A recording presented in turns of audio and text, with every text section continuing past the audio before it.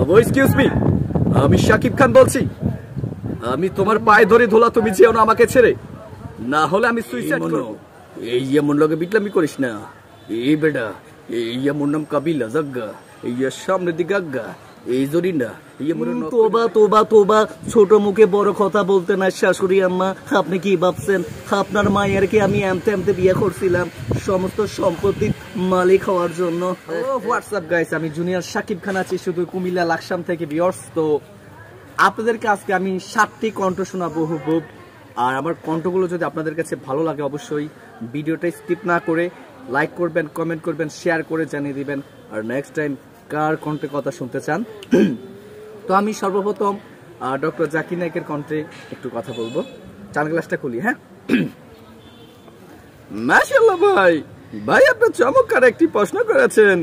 আমি ডক্টর জাকির নাইক বলছি ভাই, ইন্ডিয়া নয়া দিল্লি থেকে। তো ভিউয়ার্স এখন আমি কাশ্যের কণ্ঠে কথা বলব। কুত্তা ভাগ্য জীবনটা জিটিভি, আমি কাশ্যা কইতাছি। সকিনা তোমার সারা বাসমু না। তো আমি এখন যে ডায়লগটা দিব, সেটা হচ্ছে শাকিব খানের। এখন আমি রুবেলের কণ্ঠে একটু কথা বলব। হাই, হারামি, কুচা বাচ্চা। আজ থেকে পনেরো বছর আগে তুই আমার বাপকে নির্মম ভাবে গুলি মেরে হত্যা করেছিস। এখন একটু কাবিলার কণ্ঠে কথা বলি।